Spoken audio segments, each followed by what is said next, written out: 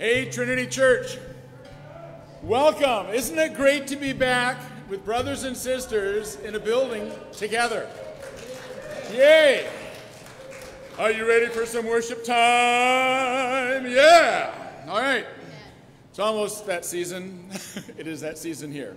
And so I really appreciate the effort of so many people uh, and the willingness for others to understand and through this difficult time of separation that we can be together. You had a comment or just woohoo? A what? Oh, waving. Yes, yes, yes.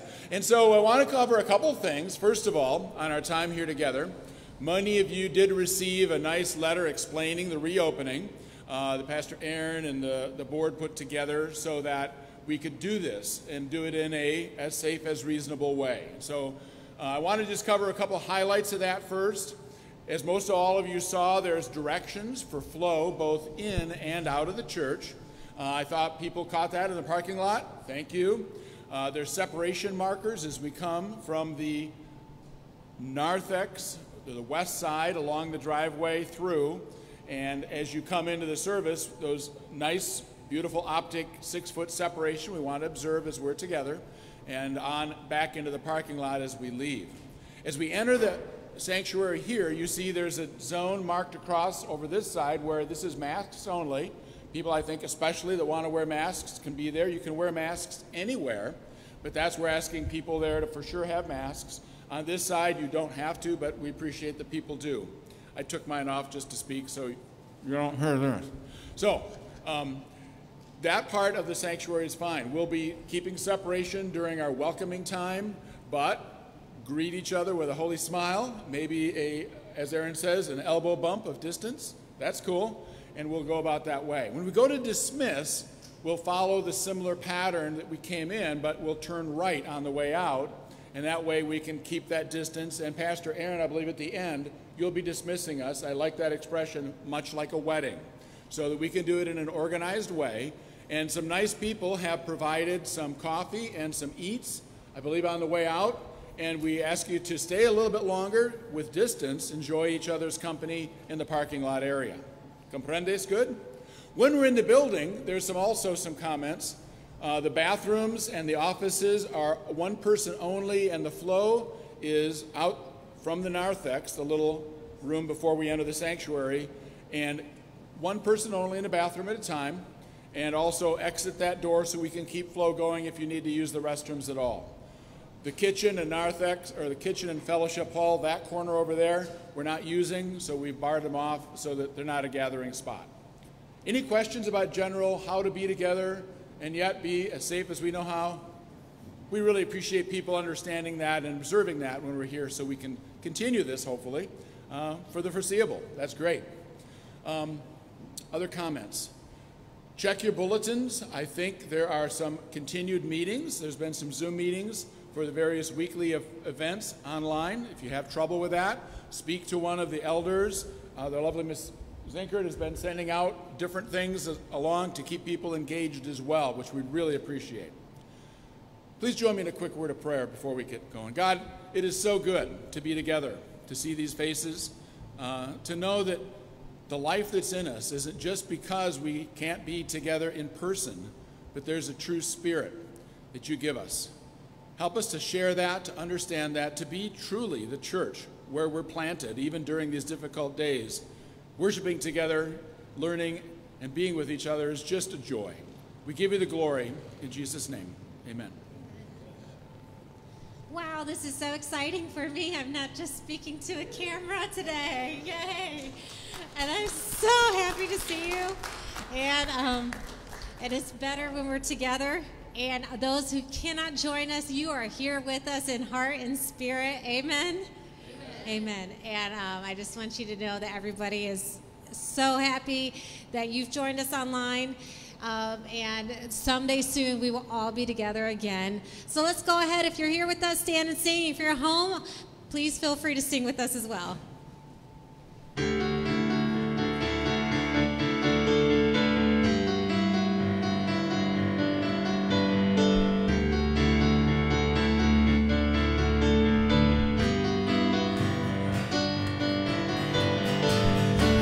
Breaks the power of sin and darkness? Whose love is mighty and so much stronger?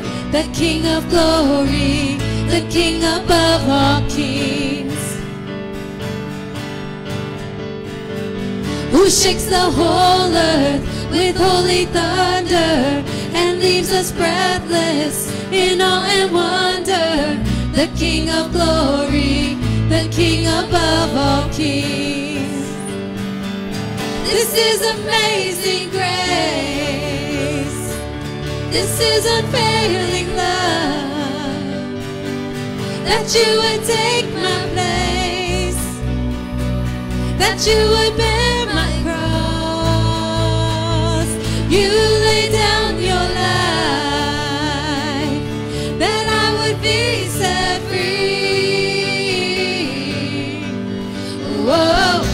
I sing for all that you've done for me.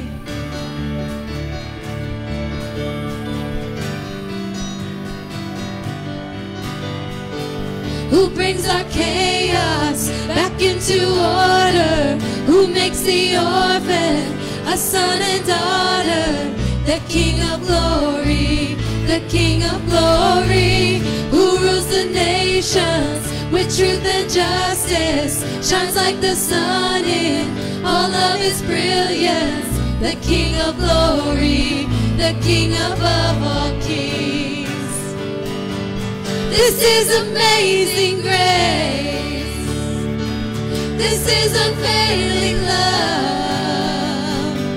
That you would take my place. That you would You lay down your life. That I would be set free.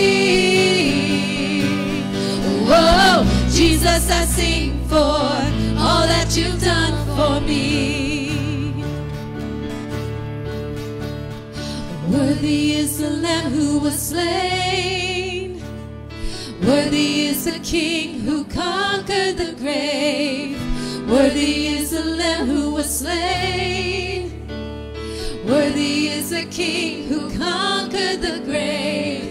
Worthy is the Lamb who was slain. Worthy is the King who conquered the grave. Worthy is the Lamb who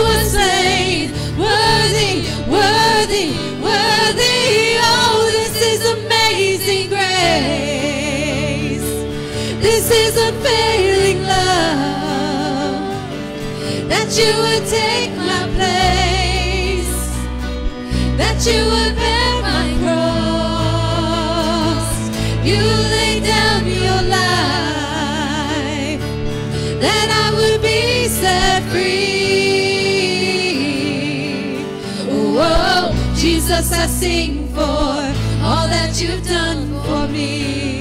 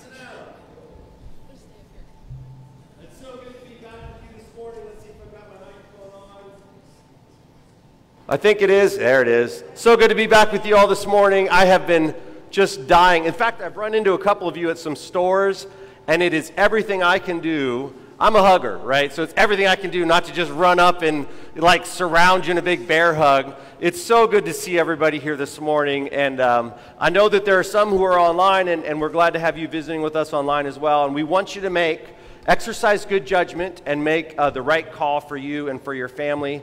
Um, but we're trying to do everything we can uh, to make this a safe environment. Um, uh, there are some, uh, you, you got your bulletins, and if you are new to us, you can let us know you're new by filling out the tear off form on the back, and there are a few, um, maybe some announcements in there as well, but I think Ted covered them pretty well. Um, just as you know, uh, entrance, handicap uh, parking permit access only through the main entrance, what you'd think of as the main entrance. Come around through the west side of the building. We've got fans blowing west to east. This section over here is mask only. Um, and then if you, you can sit anywhere you want, of course, in the, in the service, but if you're sitting in that side past that yellow line, I want you to have a mask on. Um, and we've got some good cross, cross ventilation going on in here, those kinds of things. On your way out the door, we have the food pantry table set up. And if, you, if that will benefit your family in any way, shape, or form, please take whatever you can there. We've got a lot sitting there. Um, and whatever you don't take, of course, we'll be using the community as well and taking to some local food pantries. We might have some other ideas about what we can do with that. But just so you know, that's available to you on your way out. There will also be an offering plate um, on your way out if you want to. Um, if you want to physically give your offering today, of course, we're encouraging you to give off- offerings online as well. But you can do that um, as you walk out. It's on the right hand side there as you walk out. And I think that's kind of all of the announcements. Did I miss anything? Okay. I don't have my service order. What's next? Is, is the graduation next? Okay. So um, Eli's got a video he's going to play for us, and then I'm going to invite the two graduates that we have that have graduated this year to come forward, and I'm going to invite the elders as well.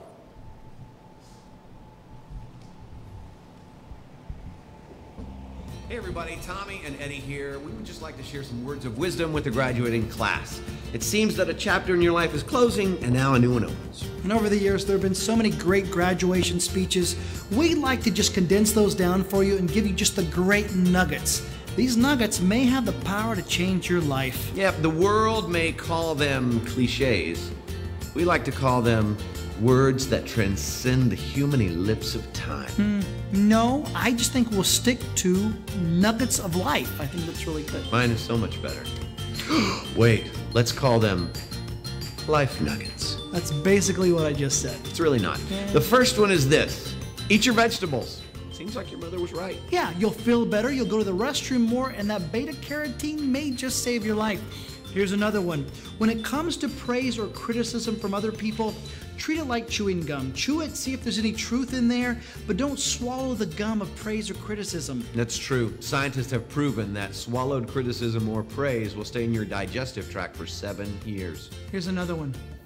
Wherever you go, there you are. No, that is uh, just, just like a cliche that your uncle says at a family reunion.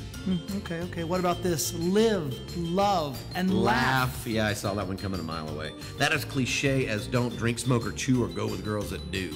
Okay, okay, all right. Here, here's one. When it comes to your future, don't sit there and worry about it. Worrying is like a rocking chair. It'll let you do something for a little bit, but it'll get you nowhere. Yes, but if that is true, Cracker Barrel's been promoting worry for years. Here's one for you. Dance the paso doble, even if by yourself. Hmm, I think they call that the pasa single. Oh, good to know. Here's something. When people ask you, so what do you want to be when you grow up? don't fret if you don't know the answer. There's a lot of 30 year olds that don't have the answer to that yet. Hmm. But Don't be that 30 year old that is still sleeping on their parents' couch. that is so true. You know what? Go ahead and take out a pen and paper right now and write your parents an IOU. Yeah, I owe you a couch, preferably one without Cheeto stain. Hmm. When you fast forward the tape 20 years from now, you'll be more disappointed with the things that you didn't do than the things that you did. So take some chances. Maybe you could make this your life prayer. God, help my character catch up with your blessings. And realize nothing in your life has taken God by surprise. It says it in His Word, Proverbs 16, verse 9, that man may make his plans, but God will direct the path. And listen, God has given you everything you need to be the person He created you to be. So what are you waiting for? Get out there and be who He created you to be. So go, go in blessings, go out there with your life, and go in peace. Realize who you belong to and take His story and make history. And if you don't remember anything else that we told you, please heed this. Eat your vegetables. They're really good for you.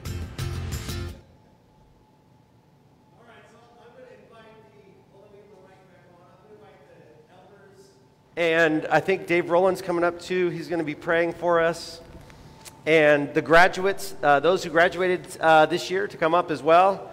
And let's see, you guys can hand these out to our two graduates. We got you a little gift as we tend to do, and our graduates are over here. Let me get a microphone for. Oh, you've, you've got this mic here you can use, uh, Dave. And we might use this one to hand it down the row and just kind of see. So I've asked the elders to maintain social distance, but at the same time to, to kind of extend their arms to be when we pray over, um, over our graduates. So why don't you go ahead and say, say your name, uh, how long you've been coming to, Fair, or to Trinity, and then um, if you have plans for the future, what your plans are. My name is Emily. I've been coming to Trinity for almost 11 years, and I plan to get my major in law enforcement, criminology, and psychology. Okay. Alana? Hi, my name's Alana. I've been coming to Trinity for nearly four years, I think, yeah. Um, and I plan to go to Messiah College in Pennsylvania, and I'm going to be majoring in physics education. So I'm going to ask the elders if you would kind of just extend your hands. You don't have to lay hands on them, obviously, but extend your hands. And Dave, if you wouldn't mind, would you just pray a blessing over our graduates and then pray for everything else that's going on in our lives in our country right now? Sure. Let's bow together. Lord, we're so thankful for how you work in our lives. Pray for Emily and Alana as they venture out to college that you would not only watch over and protect them physically, but that they would be uh, walking with you each day and that they would be salt and light wherever they are. We pray that you would help them use the gifts and abilities that they have to serve you in whatever field they're going to. Lord, along the way, sometimes you redirect our path, so may they be sensitive to what you want. Amen. May your will be accomplished in their lives and use them mightily for your glory. Lord, we pray for those within our own congregation. There are folks going through cancer treatments, there are folks having upcoming tests, there are those who have things wrong and they don't have a diagnosis yet, and the frustration. I pray in the midst of that that they could look to you, the God of all comfort. Lord, we pray for our nation. It's in turmoil. Things around us are so uncertain, but we're so thankful that you are our refuge and strength, a very present help in trouble. Therefore, we will not fear, and we're thankful for Pastor sharing the last few weeks about fear not. And I think of what the psalmist says at what time I'm afraid, I will trust in you. So help us, Lord, to be people of faith and trust, not people of fear. Lord, we pray that you would just comfort those who have lost loved ones to this virus.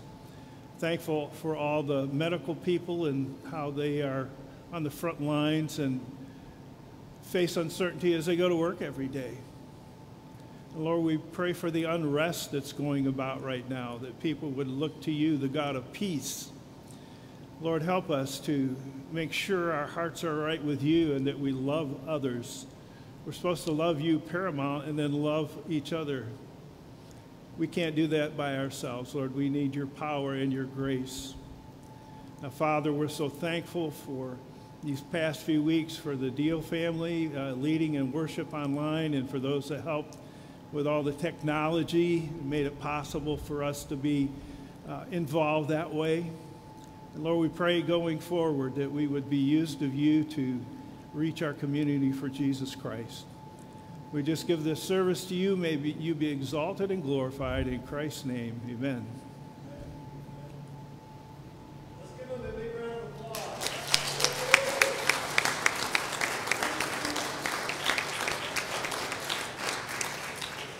Congratulations, to graduates, and to all the graduates out there. And I just want you to know if you graduated this year, you are special. You're so special and unique. And I know you've lost a lot, but you will be remembered, absolutely remembered. Um, I believe we have our hymn next. Waiting for the slide to tell me. Okay, so you know, there's been a little change in the sanctuary. I had my doubts, but wow, amazing, perfect timing for our social distancing too. Um, however, there are not slots for the hymnals because these are chairs. So I do want to encourage you, if you're a note reader like I am, uh, when you come, you can grab a hymnal at the back and then return it when you're done so that you can sing along as we sing from the great hymns of the faith. So let's stand and sing Standing on the Promises. And if you want to grab a hymn, it's back there um, on the back.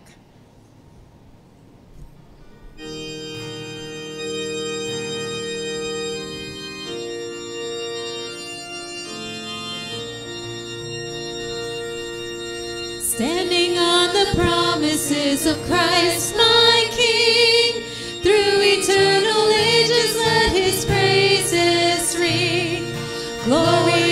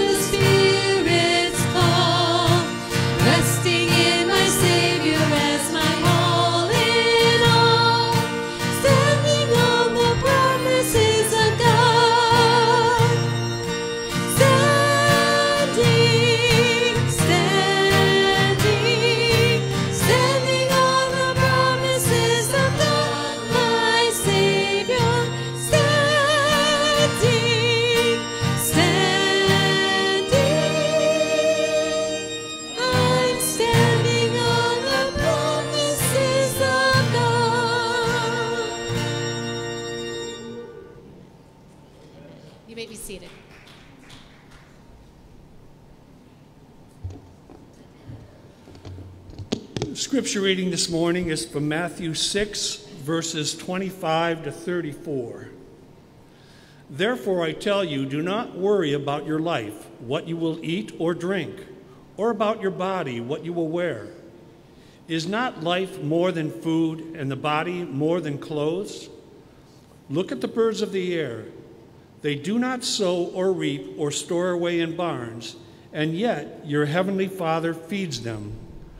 Are you not much more valuable than they? Can any one of you, by worrying, add a single hour to your life? And why do you worry about clothes? See how the flowers of the field grow? They do not labor or spin. Yet I tell you that not even Solomon, in all his splendor, was dressed like one of these. If that is how God clothes the grass of the field, which is here today and tomorrow is thrown into the fire, will he not much more clothe you, you of little faith? So do not worry, saying, What shall we eat, or what shall we drink, or what shall we wear? For the pagans run after all these things, and your heavenly Father knows that you need them. But seek first his kingdom and his righteousness, and all these things will be given to you as well. Therefore, do not worry about tomorrow, for tomorrow will worry about itself. Each day has enough trouble of its own. I don't know about you, but the songs of our faith, the lyrics have had intense more meaning to me as I've sang them. I don't. Has anybody else experienced that? Um, and just a reminder of our utter reliance on God in everything. Even when things were going well, we still needed to rely on Him. Maybe we didn't realize it as much. Um, however, now we are in the midst of a lot going on right now, and we could be fearful. We could also sing songs, and we could sing songs of praise that encourage us and remind us. This song, um, I don't know if you remember if you were watching our live streams all the way back to when we had our guest speaker, Jacob Kessling, here from the Dayton area. He introduced this song, and it kind of stuck with me. And I, we've sang it a few times, and you know, God is our waymaker. We can hope in Him. We may not know the way out of all of this, but God is the waymaker, and He is in control. He knows what He's doing, and we can trust in Him. Would you join me in singing?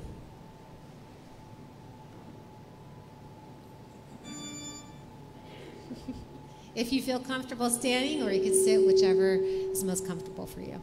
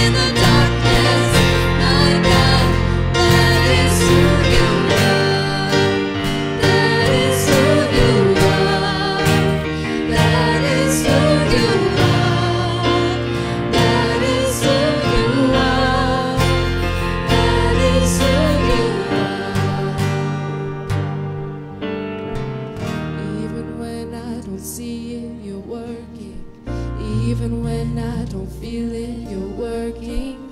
You never stop, you never stop working. You never stop, you never stop working. You never stops.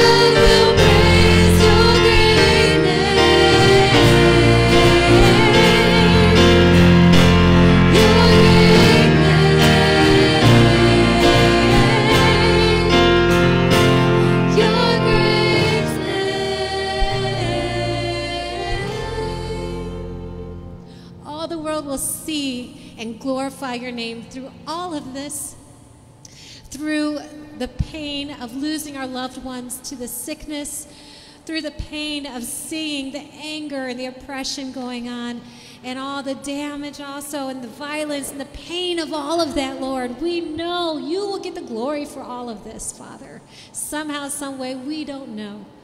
Lord, we pray that you would bring healing to our nation, both physically and spiritually and socially, Lord. In Jesus' name, amen. Amen.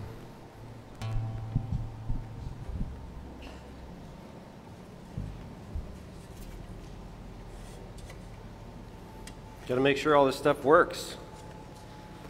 Since it's been so long since we've used it. Oh, so good to be here this morning. And um, great to see our newest, youngest worship team member. Totally fine. Totally fine. Nothing wrong with that. Worshiping the Lord. Maybe doesn't exactly understand even, but still just worshiping the Lord. We're praising God for that. So good to be here. It's good to see so many of you here this morning. It's wonderful to have just brothers and sisters in the same room. Amen. It's so good. And uh, thank you to everybody who's put so much work into. If you have maybe donated some money towards worship improvements and you maybe have helped to pay for the chairs that you're sitting in, we have a lot more. You see them sitting against the back wall, but we're just spacing them out right now because of um, the coronavirus.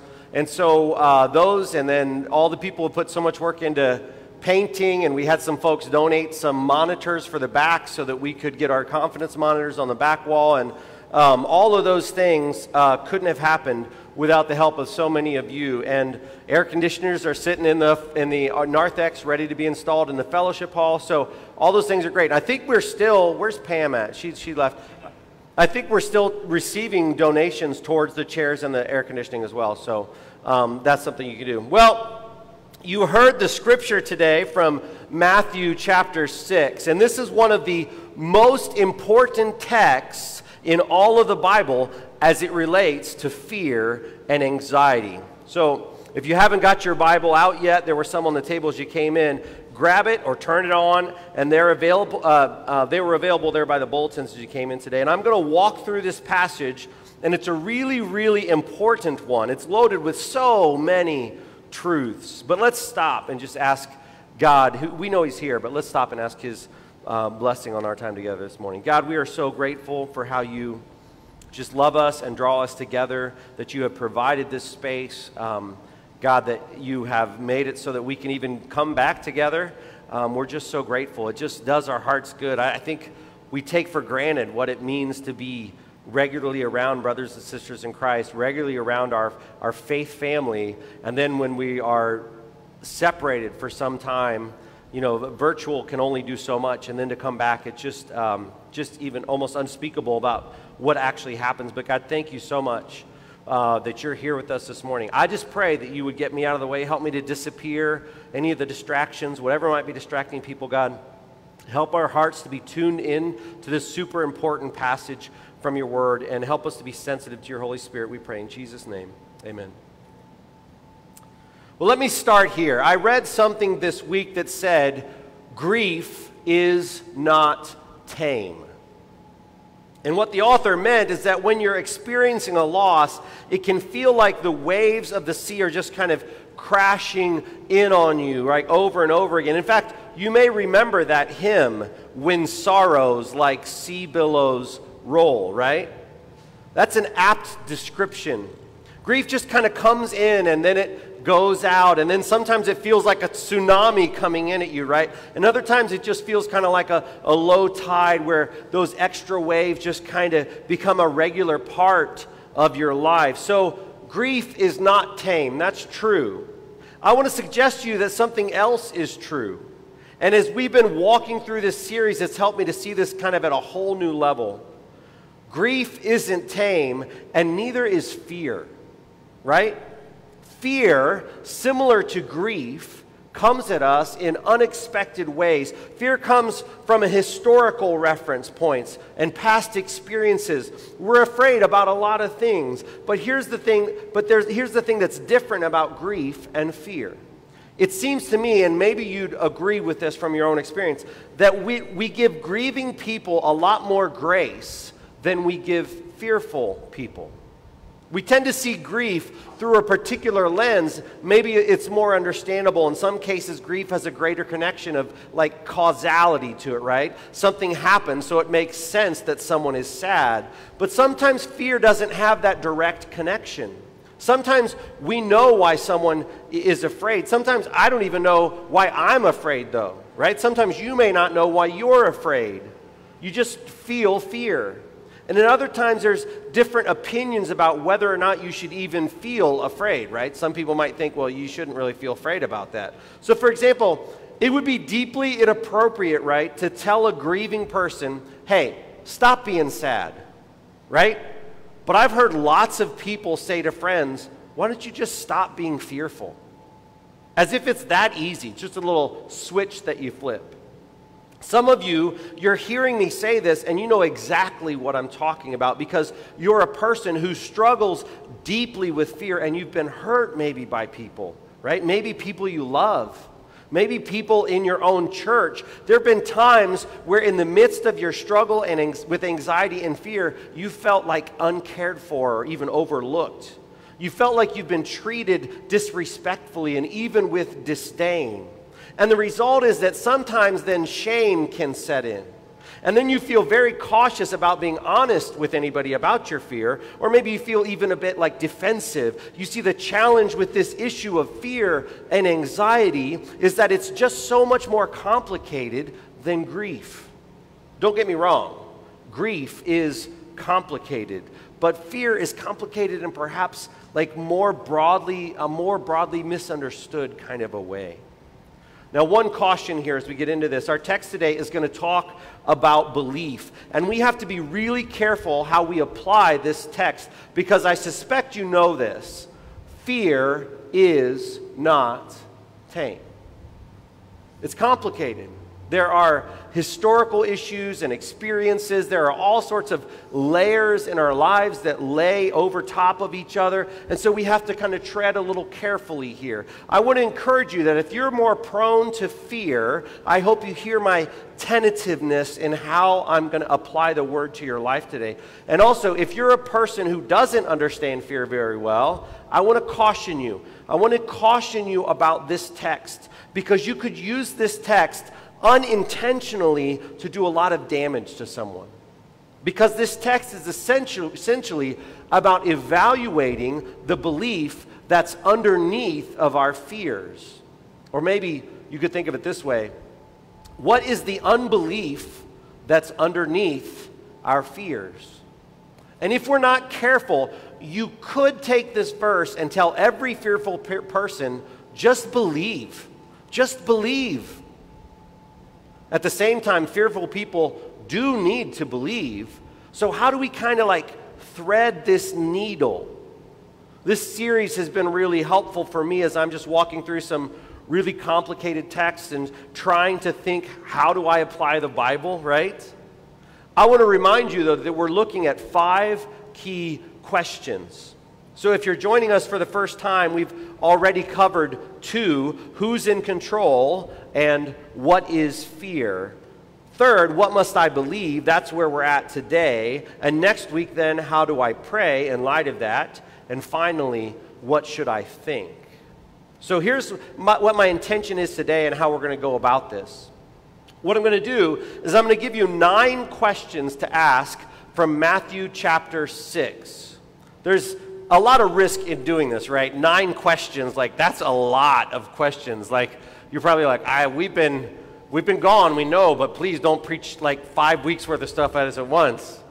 And what I want you to do is I want you to take these nine questions and use them this way. I want you to think of them as diagnostic questions to ask yourself about fear and about this issue of belief. Because here's what I think, and you see if this is right in your life as well.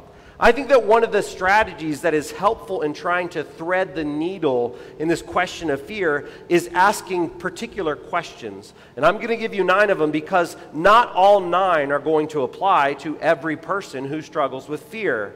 So here's your assignment as you listen this morning, as you take notes, right, as you consider what I'm saying through the scriptures, I want you to identify which of these nine questions are helpful right now. Another of the questions may be helpful down the road, but which of these nine questions are helpful to me in light of the fears that I am dealing with in life right now? Don't apply it to somebody else. You think about your fear and consider how do these questions help me to diagnose what's underneath of my fear? Realizing that fear isn't tame. All right, here we go. Nine questions. Number one, am I allowing this to control me too much? Am I allowing this to control me too much? We're going to cover this quickly because we've already addressed it in part in part in a previous sermon of who's in control. But look at verse 25. Jesus says, Therefore, I tell you, do not be anxious about your life, what you will eat or what you will drink, nor about your body, what you will put on. Is not life more than food, and the body more than clothing? So, the word therefore leads our text, and it's important because it indicates that there's something that Jesus said previously that now he's going to more fully unpack for us. And if you look at verse 24, you'll see what he was talking about. He was talking about the fact that you cannot serve God and money. So, why would he talk about money? It's because money gives us the sense of control, right? If you have money, you have options. And with options comes the ability to like limit your exposure to things or your needs or to think about what you're going to do with things. So if you have money, it gives you ways to solve problems. What Jesus is saying, though, is it's impossible for the use of money, it is, I'm sorry, it's possible for the use of money to turn into something where it actually takes more control of your life than what it should. Interestingly, the word anxious, do not be anxious about your life, it means to be concerned with or meditate on or to care about. And what you need to know is that this word, in and of itself, isn't bad. There are things that you should care about. As I said it last week, there are things that if, I, if you don't worry about them, I'm a little worried about you, right? A parent should worry about the safety of his or her, uh, his, his or her kids, right? Safety issues, whether or not their kids are playing in the street. A plant manager should worry about the safety of his or her employees. employees. So it's not a bad word in and of itself. Anxiety becomes sinful when it's applied inappropriately or when it expresses itself in a way that's out of control. And that's why the, this question is so important. Am I going, am I allowing this thing to have too much control in my life? Jesus says, don't be anxious about your life, what you will eat, what you will drink, nor about your body, what you will put on. But here's the problem wait a minute.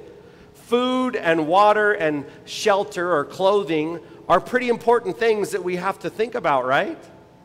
In fact, I'm glad that my wife thinks about what we're going to eat, right? I'm glad that, that we think about having enough food on the shelf. Jesus clarifies in this text and he says, Is not life more than food, and the body more than clothing? That's the key.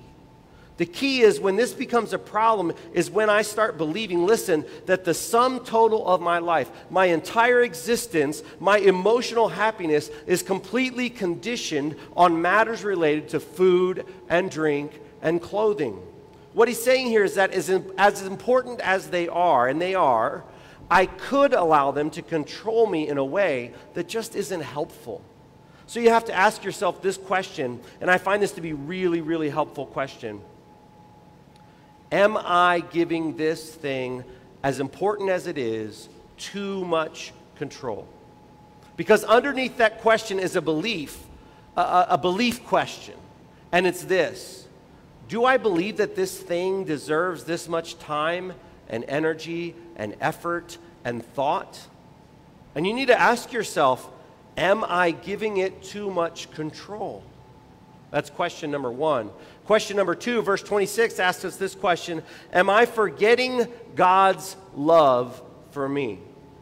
Verse 26. Look at the birds of the air. So he takes us outside. He kind of shows us around, right? Look at the birds of the air. They neither sow nor reap nor gather into barns, and yet your heavenly Father feeds them. And here's the clencher. He says, Are you not of more value than they?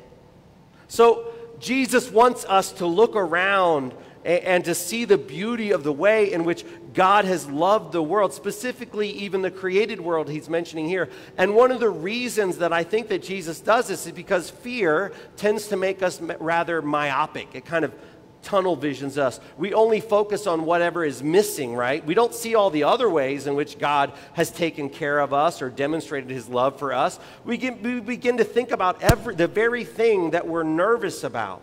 And we forget the history of how God has continually showed his love to us over and over. This is one of the reasons, if you're a Christian, that the gospel is so central. And I hope you never get tired of hearing it. It's because we need to be reminded over and over of what he has done. Because you can take your, your fears to the very foot of the cross and remind your soul if God loved me in Christ, with Jesus dying for me, if this was my greatest need, then surely God can love me with my job, right? Or, or with my, my kids, or with this illness, or with this tension that I feel in society and culture that's kind of boiling up around me. Jesus says, Aren't you more valuable than birds? Now, come on, Jesus is using an illustration. I'm not suggesting that you walk around propping yourself up by telling yourself, I'm more valuable than birds.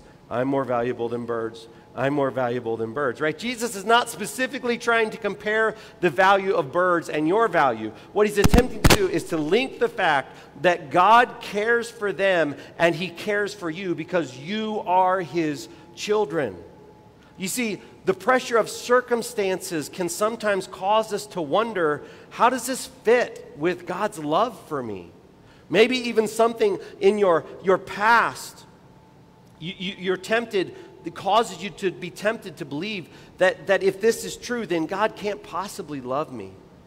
Maybe you had a, a, difficult childhood, or even the idea of God as your father is really hard and complicated because of some bad things that were in your experiences growing up. Or, or maybe you're the kind of person where you have a hard time just trusting people in general. You know, there, there are people who sort of lean towards trust and those who sort of lean towards suspicion. Sometimes suspicious people are, are that way for a good reason. And sometimes maybe it's just how they're wired, or maybe you know the kind of person um, that, you, that you know, you, maybe you're the kind of person that you know God intellectually, God loves you, right? But you need evidence, you need proof. You see, one of the reasons that I love the Psalms, in particular the, the, lament Psalms, is that they do two things at the same time. They acknowledge that this is really hard, and yet God is good, right? And what Jesus is attempting to show us here is that God's purposes for us are always loving and kind, even if we can't reconcile it. Even that song we were singing, even when we can't see it, you're working, right? So, another question to ask yourself is Am I forgetting God's love for me? For some of us, the reason that we're afraid is because we've come to believe if I can't see this as, as loving, then it's not loving, right? And as a result, you feel, you worry about it and you're fearful. And what you need to do is ask yourself, what's the, under, uh, what's the unbelief underneath that, that thought? What am I believing in this moment about God or about myself? Am I forgetting God's love for me? So, question three Am I trying to fix something beyond my ability? Look at verse 27. And which of you, by being anxious, can add a single hour to his lifespan? The next question is when are we fearful or anxious about things that are just simply beyond our control? Sometimes we worry because we're seriously trying to control something that's just impossible for us to control. Sometimes worry stems from our desire to fix things. And fixing things isn't bad, but the fact of the matter is there are situations in life that are so broken and so complex and so challenging, right? That quite frankly, it would if you work super hard to try to fix it and, and, and, and try to fix it right, it'll break you. There are things in life that can't be fixed easily or that you can't fix. And the fact of the matter is that Jesus is calling us to understand that there are things about our lives that are outside of our ability to really fix. Which is why verse 27 says, Can you add a single hour to your lifespan? The answer is no. Or other translations say, Add a cubit to your height, like 18 inches. Like I could be, some of you probably would like to be 18 inches taller, right? You see, there are some things that are divinely designed to be out of our control. It's a regular reminder that we need God's help. There are situations that are impossible for us to manage. Let me just be a little transparent. It won't be a surprise to many of you, but this is where my personality and ministry can really be dangerous, right? Because I like to fix things, I like to solve problems, I like to help. I really like to help. I got into ministry because I wanted to see people change, but here's the rub. When you're dealing with broken, sinful people with a lifetime of complex problems, when you can't fix them, the other thing that you can do is worry and you think and become anxious about them, right? And you know why? Because worry feels like I'm actually doing something. I can't fix it. I can't solve it. It's so huge, so I just need to think about it and think about it and think about it, right? And it's, it's what we fixers do when we can't fix, when we have things that we can't fix. You just think about the fix, and it never comes, right? And the right conclusion for the fixer who finds him or herself worrying is to come to this conclusion I can't do this. And you know what I found? I need to come to that conclusion a lot earlier in my thought process. In fact, I'm trying to take that thought, I can't do this, and I'm trying to put that at the front end of the things that I'm thinking about, not on the back end. Because usually in my life, I run to a text like Matthew chapter 6 after I've tried everything.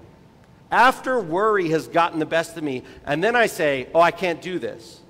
Underneath that is this belief system that says, I think I can fix this. And so, one of the belief systems that the Lord's helping me to see is to start with the belief I can't fix this. That doesn't mean I'm throwing up my hands, giving up, right? But it means I'm going to think differently about my worry and anxiety and fear. Fourth question Am I starting to doubt God's character? Look at verse 28. He says, why, And why are you anxious about clothing? Consider the lilies of the field, how they grow. They neither toil nor spin. So now he draws our attention to the lilies, to the fields, to see their beauty. He says, verse 29, Yet I tell you, even Solomon in all his glory, that's an important word. Solomon in all of his glory was not arrayed like one of these. But if God so clothes the grass of the field, which today is alive and tomorrow is thrown into the oven, will he not much more clothe you, O you of little faith. So the question now is diagnostically is your worry at its root because you don't trust in God's character? You see, Jesus points us to the lilies because he wants us to see their beauty. He says that they're arrayed in a splendor that Solomon didn't even have. They grow because of the provision of a good and gracious God. The lilies are beautiful because God made them beautiful. They're lovely because God provides for them not, listen, because of their effort. God is the one who is behind every good, beautiful morning when flowers bloom and the sun comes up and birds chirp. God is behind that. Jesus drives home the point. He says, "These lilies of the field, if they, if do they have, um, if they're less valuable than than uh, when they're here today and gone tomorrow and thrown into an oven," he then says, "Will He not much more clothe you, O you of little faith?" He adds this thing about little faith because at the end of the day, what's happening here is a lack of belief that God is going to help me, or that God is unkind, or that God doesn't care. It's actually a faith issue. Now, don't make the mistake of thinking that this is just about clothing. I'm sure your closet, like mine, is full. I've never had to think about if I had any clothes, right? Instead, the issue here isn't clothing, it's glory. You may not worry about clothing, but you may worry about what people think about your clothing because of what it says about you. You may worry about your job or, or your grades or the school you wanted to get into. You may worry about your friend group or what they think about you or what they think about you on social media or, or a spe- specific spot on an athletic team that you wanted. You see, clothing here is representative of the glory issue. So, and, and really, glory is anything that, that, that gives you what you want. So, some of you, you're anxious because you don't like the way God made you. You're anxious and fearful because you wonder, why did God put me into this family, right? Why did He give me this child? Why did He make me this particular way? And what I want you to just ask yourself is this is all the anxiety and the worry that's related to these questions that's what, what's the belief underneath that maybe maybe maybe you just need to think about Sometimes fear and anxiety can actually lead us to become sinfully angry with God, where we start to accuse Him of forgetting about us or abandoning us. Sometimes fear and anxiety is because we're doubting that God really is good. Question number five Am I acting like a non believer? Now, this gets a little more personal, a little more pointed. And again, if this is not the question you need, then just listen for a later one, right? But this is important in verse 31. He says, Therefore, do not be anxious, saying, so anxious people often use their words to express their anxiety, right? And unfortunately, if you're an anxious person, you can make other people anxious with your anxiety. Anxious parents create anxious kids sometimes. Anxious leaders create anxious followers. I could show you passages in the Old Testament that say, if you're a soldier and you're fearful, please go home. Because that spreads like wildfire, wildfire in an army. What shall we eat? Or what shall we drink? Or what shall we wear? He then goes on in verse 32 For the Gentiles seek after all these things, and your heavenly Father knows that you need them all. We'll pick up that second half of that verse in just a moment. But right now, what I want you to see is this the Gentiles seek after these things. So, what's Jesus saying here? The, the word Gentiles here refers to people who are not believers. So Jesus talked about it because his primary audience here is, in this moment, were Jews. He's saying here that people who don't know what God is like, people who don't know God's character, people who don't know what it means to trust him, they haven't trust, they haven't tasted of God's goodness. What option do they have but to worry? Like they gotta worry because they think the whole created system isn't governed by a good and gracious God who cares for his people. They think it's all about some capricious design of, of, of divine animosity towards people. Or God just kind of set the clock, maybe you've heard this, set the clock in motion, right? And stepped back and said, well, good luck with it. Hope it works out. So, worry and fear and anxiety could actually cause us to, to, to act like people who don't even believe. And church, I just have to exhort you that if you're if you tune into what's happening in the context of media or what other people are saying, we need to be very certain that while we may hear one thing out of one ear, we are definitely hearing the biblical truth out of the other. Because our lives can easily gravitate towards the predominant mindset prevalent within a culture that doesn't know about a good and kind God.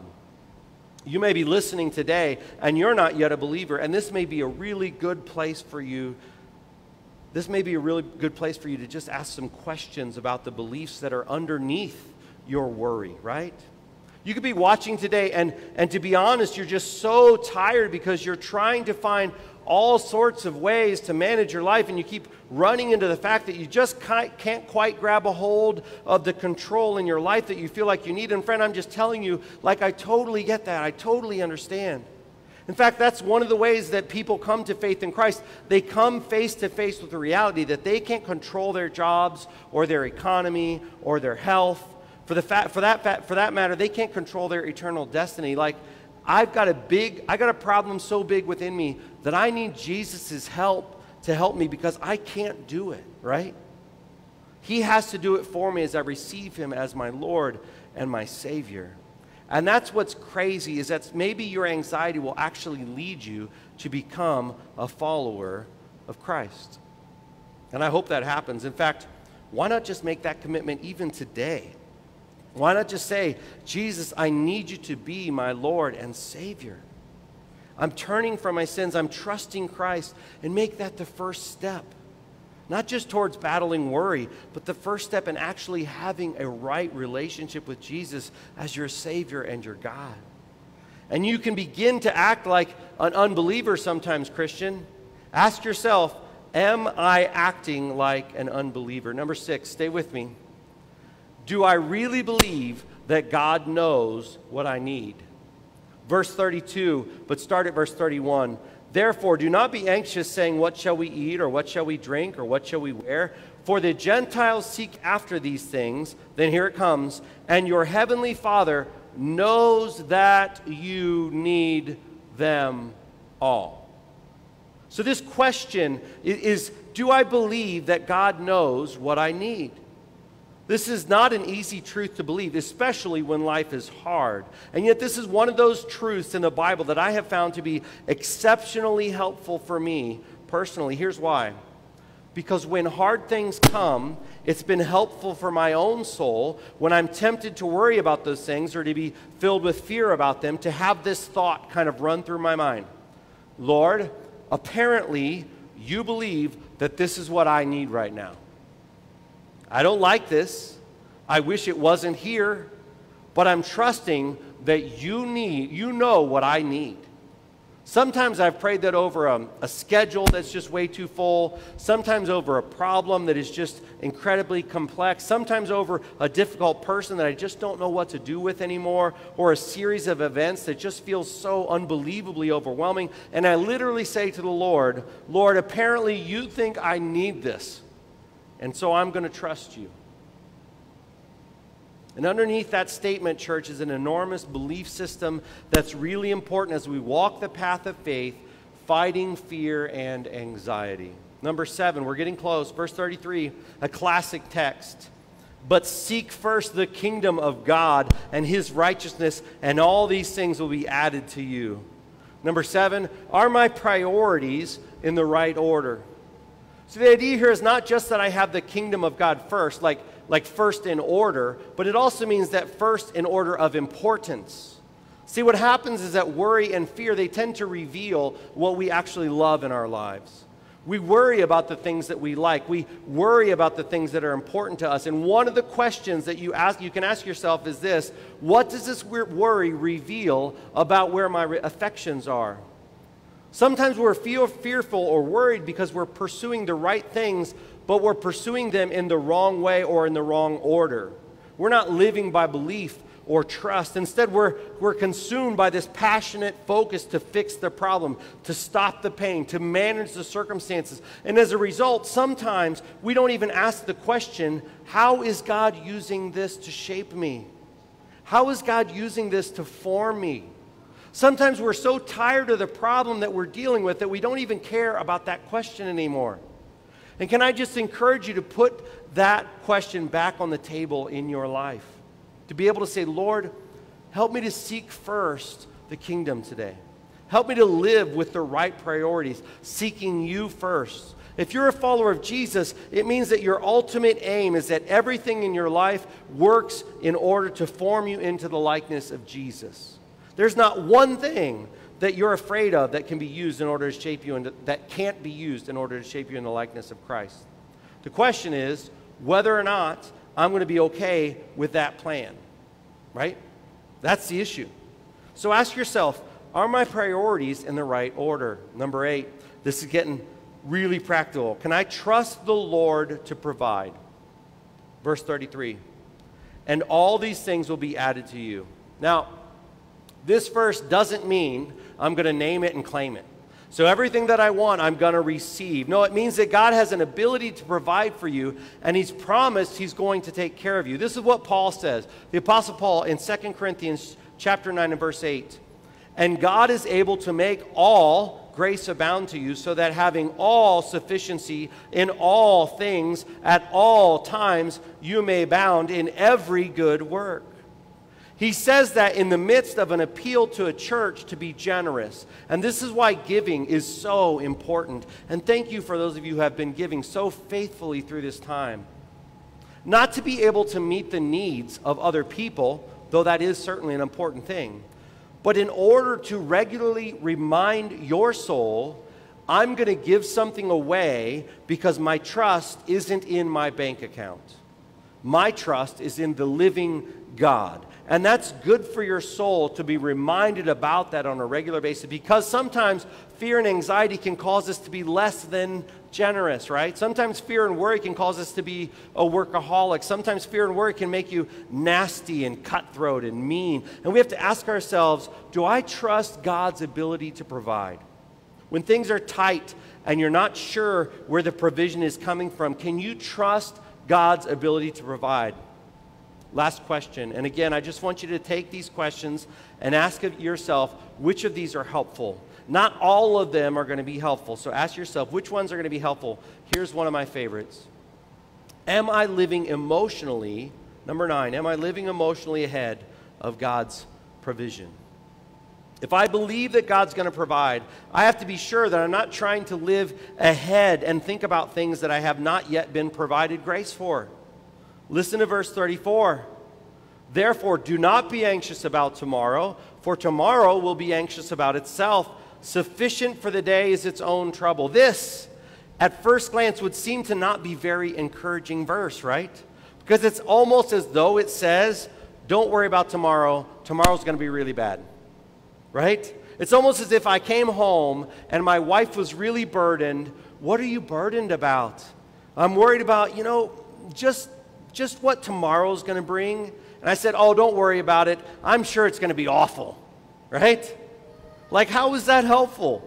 What is Jesus saying? Here's what Jesus is saying He's saying that every day has trouble. We all know that's true, right? You wake up every day, there's going to be challenges. But what he's saying is that sufficient for the day is its own trouble. In other words, there's, a, there's kind of a box around the trouble that Jesus limits the amount of trouble in direct relationship to the grace that he provides. And what he's saying is that if you're trying to deal with tomorrow's troubles, you're actually entering into a zone where, friend, you're, you're entering into a zone where you don't have any grace to deal with those troubles because they're tomorrow's troubles. He provides daily grace, kind of like manna, right? Grace ready for whatever you face. Grace ready for whatever your difficulty is. And so, one of the strategies of dealing with worry and fear is limiting the scope of what you're thinking about to 24 hour increments of faith, by faith. Saying, listen, I don't know what tomorrow is going to bring, but here's what I do know God's going to help me when I get there. He's helped me today, and tomorrow there'll be grace for whatever I'm facing. And if you live long enough, you can look back on your life and you've seen over and over and over and over again. Some of you have seen this. Some of you have walked through immense trials with all kinds of difficulties, incredible fears, and you look back and you know it's unbelievable how God has helped me. I couldn't have predicted it. I wouldn't have been able to see it in the future, but He showed up day after day after day. And, and the diagnostic question that we have to ask ourselves is this Am I trying to live in tomorrow's troubles when I don't yet have grace for tomorrow's troubles? So let me be blunt. Brothers and sisters, if you want to try and live in tomorrow's troubles without grace, good luck. You're going to go there on your own, with your own strength, with your own power. You don't want to live in a place where you don't have God's grace helping you. And so, one of the faith commitments, one of the belief steps is to say, I'm not going to spend energy on tomorrow's troubles because I've got grace for today. So, nine diagnostic questions. Fear isn't tame, friends. It's not as simple as me saying to you, just believe, just believe. But at the same time, there are belief issues underneath our fears that we have to think about. And one strategy for dealing with our fears and anxieties, asking myself, and you have to ask yourself the same question what do I need to believe right now? So here's what I want you to do. Here's your assignment. I want you to think about the thing right now, in this moment, right now, the thing that's got you the most worried. What is it? You got it? What's the thing that you spend a lot of energy on right now? You're really fearful about it, maybe for good reason. And then I want you to ask yourself this question What is God calling me to believe in light of these questions and in light of this worry, this fear. And why not just take a minute and talk to God about what you need to believe and ask Him to help you? Listen, it's not going to solve all the problems, it's not going to fix everything, it's not like a silver bullet, but here's what I do know it's a really good place to start. Because while fear isn't tame, God is good. You can take it to the bank, and His grace is sufficient. Amen? Won't you stand with me as we prepare to close our service and pray together? Let's pray. Lord, help us. There are so many battles at so many levels with so many fears. We need you, Jesus, to remind us over and over and over of your steadfast love and your faithfulness. So, Lord, whatever we fear, help us by your Spirit to be able to diagnose what's going on. So, grant us grace, we pray. In Jesus' name.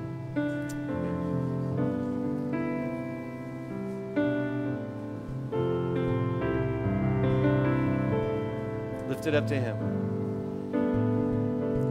All I once held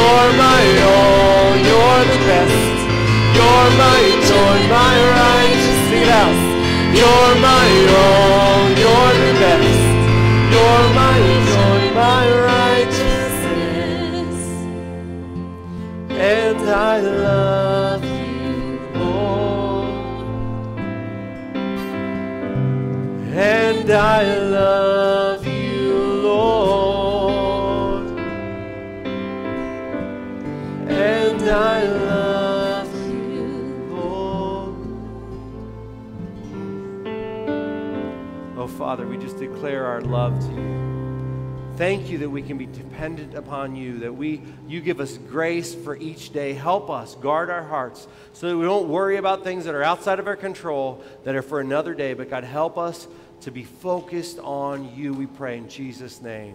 Amen. Amen. Listen, have a seat. Praise God. We had a good service today. Have a seat because we're going to be dismissing by rows. And I'm going to say this, but I don't want you all to get up and run out the back. And I can't wait. I've been waiting to say this.